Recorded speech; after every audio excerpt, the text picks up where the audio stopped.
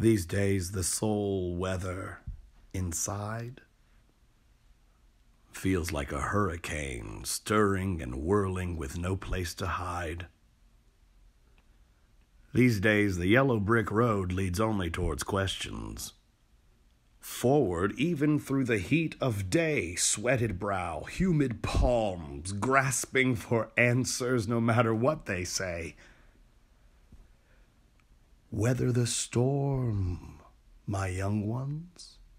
Speak the sea and the sky, the rivers and lakes, the clouds passing by. Believe in yourself and your capacity to love. For another day shall pass, be you six feet under or on two feet above.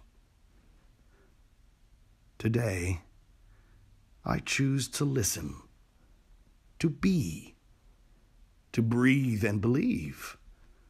In 24 hours, who knows what the soul can achieve?